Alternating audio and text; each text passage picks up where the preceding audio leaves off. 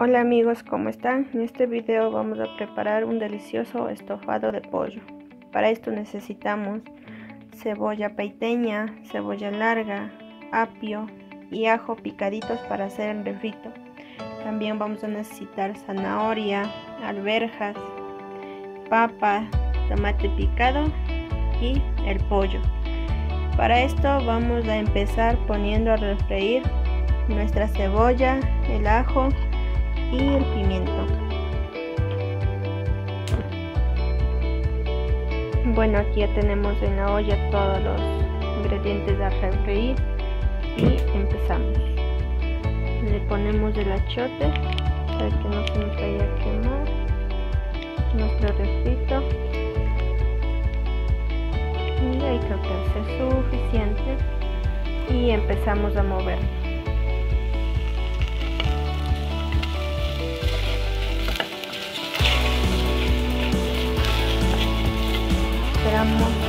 Movemos hasta que se nos refría bien.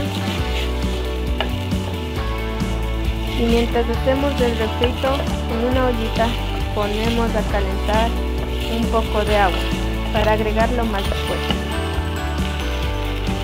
Ahí seguimos metiendo hasta que se nos refría y le vamos agregando hierbita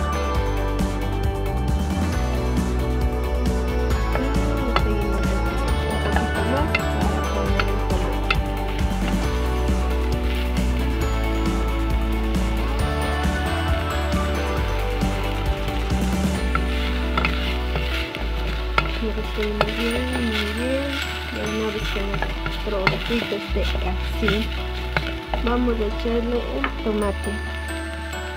El tomate. Listo.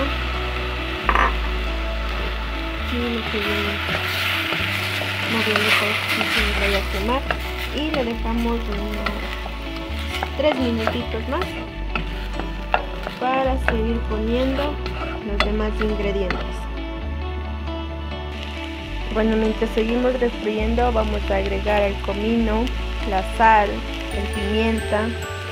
Primero vamos a echarle un poco de sal. Moviendo para que no se nos queme. Ponemos el comino, un poquito más. Listo. Y un poco de pimienta. Luego vamos a ponerle el pollo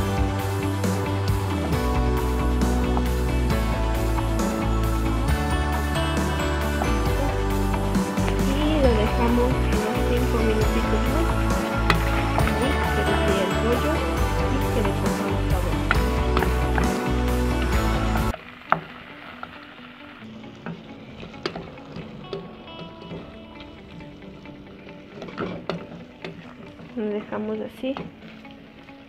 Y esperamos unos una vez que el pollo esté sellado vamos a proceder a poner la alberca tenemos ahí y lo movemos. Lo tenemos ahí un poquito unos dos minutitos.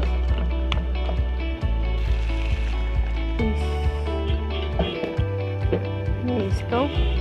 La mezclamos un poco y dejamos que se nos cocine por unos 10 minutos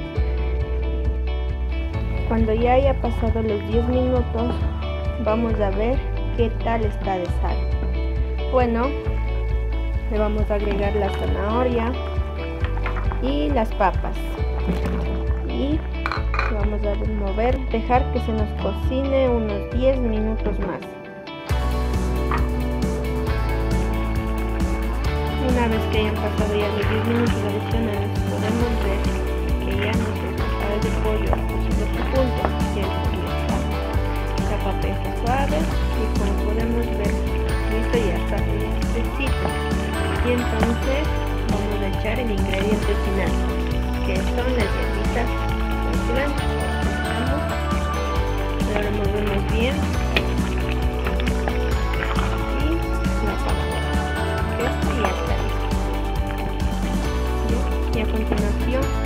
vamos a presentar nuestro plato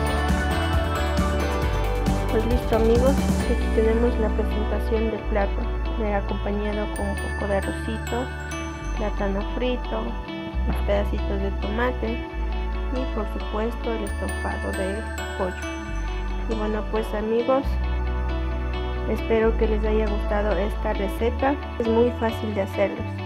Nos vemos en un próximo video, no se olviden de suscribirse.